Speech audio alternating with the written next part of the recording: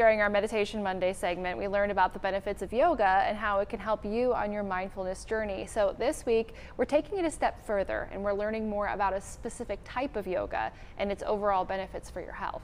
So let's say good morning to Nicole Walters joining us live. She is our certified yoga instructor and owner of Ahava Collective in Greensboro. You know her well, folks at home. Good morning, Nicole. Hey, good morning, everyone. Thanks for being with us. So let's talk about this term trauma informed yoga. Explain what this means. Yes, we hear it a lot, or we might see it a lot. Um, and there's actually not that many studios locally that offer this environment.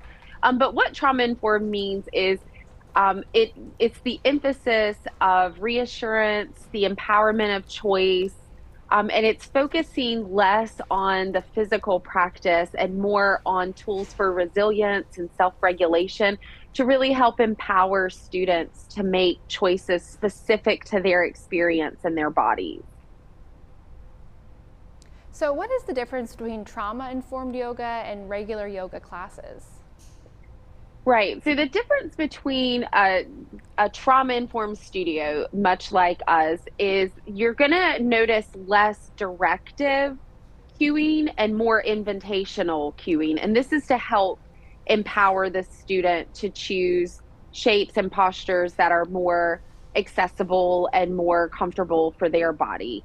And while there is going to be, um, you know, cueing for proper alignment in order to prevent injury, there's going to be more of an emphasis to pay attention to how you're connecting and feeling within your body during the practice and less on what you physically look like in the practice.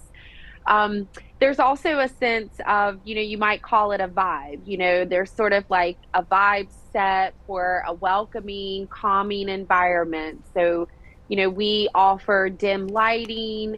Um, we're very in tune with what the music selections are. We kind of, you know, get regular classes going and people will kind of know what to expect. Um, and things a bit consistent, right? So that helps students know what to expect. Um, but another one that's really big is you're not going to get touched. So the teacher's not going to be walking around the room, staring at you, touching your body. There may be occasions when, if we're using props, um, you may need some assistance, and you know we can offer that. But no one's going to put their hands on you without your consent or being aware of that. Nicole, can you share some benefits of this type of practice? Yes. So the benefits of being in a trauma informed um, space is it improves your body mind connection. So I say it all the time. Our, you know, body is always in the physical present moment, right? But it's our mind that starts to go to all of these different places in the past, in the future. So when we're offered a lot of choice and we're in a space that's encouraging and empowering, we're able to deepen that connection to our mind and our body. And ultimately, we're able to tap more into that parasympathetic nervous system to regulate um, our emotions and have a deeper connection with what we're experiencing. And you know, I love that you said too that the, one of the big differences is that you they don't touch you because that is something that's so important. And you know, what other types of, of things and what, what's what how does this yoga class work at Ahava Collective? So at our studio specifically, um, we have you know a class every night. It's always at the same time, and you can expect each teacher to familiarize you with who they are, what to expect in class that night so you're never going to walk into a class and somebody just completely, um, you know, sidetrack you with something you've never heard or seen before. So all of our teachers are very intentional about, you know, introducing themselves, letting you know what's going to happen in class tonight. And then what I really love about us at the collective is each and every class is ended with a sincere request to please give us feedback. Tell us about your experience here.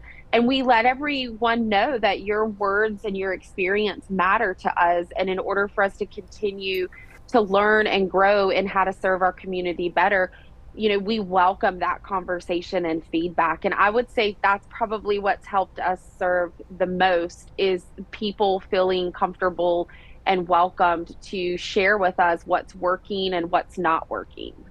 That's so important. Thank you, Nicole, for your time this morning. As always, we appreciate you. And for everyone at home, if you enjoy Meditation Monday segments with Nicole, always follow along on her Instagram. Check out her website. The info information is on your screen now for more valuable information. All right, thanks again.